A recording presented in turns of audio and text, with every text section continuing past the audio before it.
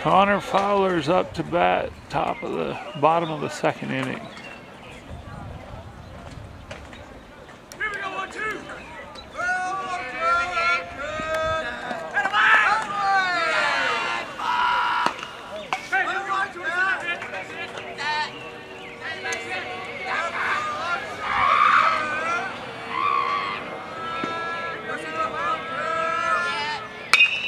Hit hard past the third baseman.